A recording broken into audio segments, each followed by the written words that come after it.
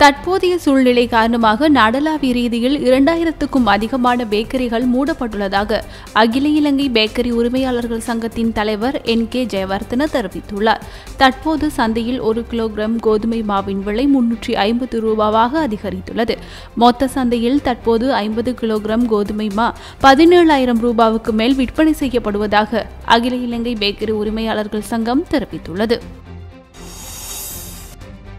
புலம்பெயர் தமிழர் அமைப்புகளுடன் டெலிகான்ஃபரன்ஸ் முறை மூலம் பேச்சுவார்த்தைகளை மேற்கொண்ட பின்னர் புலம்பெயர் தமிழர் பிரதிநிதிகள் எழுப்பிய கரிசனைகள் குறித்து தீர்வை காண்பதற்காக நீதி அமைச்சர் விஜயதாஸ் ராஜபக்ஷ முன்னாள் பிரதம நீதியரசர் அசோக் டி சில்வா தலைமையில் மூவர் கொண்ட குழுவை நியமித்துள்ளனர். புலம்பெயர் சமூகத்துடன் பேச்சுவார்த்தைகளை ஆரம்பித்துள்ளதை உறுதி செய்துள்ள நீதி அமைச்சர் அவர்களுடைய கரிசனைகளை கவனமாக செவிமடுத்துள்ளதாகவும் அக்குழுவை வெள்ளிக்கிழமை சந்திக்க உள்ளதாகவும் அமைச்சர் தெரிவித்துள்ளார்.